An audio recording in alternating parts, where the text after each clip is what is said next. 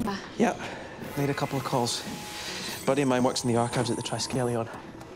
Agreed to let us access it from here.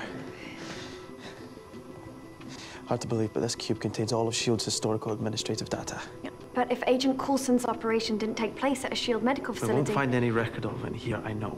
But this also contains all inter-office memos, travel arrangements, purchase orders. Maybe we can track down the location through a virtual paper trail of some sort or another.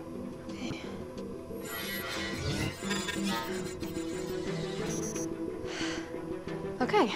Well, let's start with the travel memoranda from the date Coulson got stabbed. Okay. Or, um, what about Dr. Streiten's departure from the Triskelion? Maybe they have that. Yeah.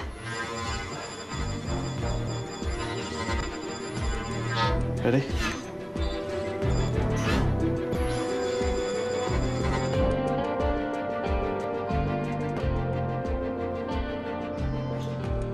Yeah, this is interesting. World War II bunker. Collapsed bunker.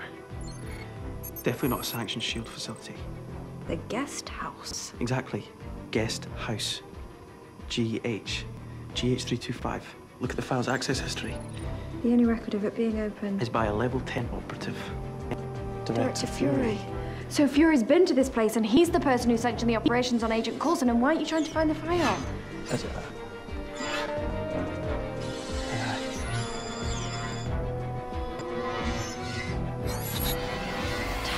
Encrypted. Skye could crack this. What would she do?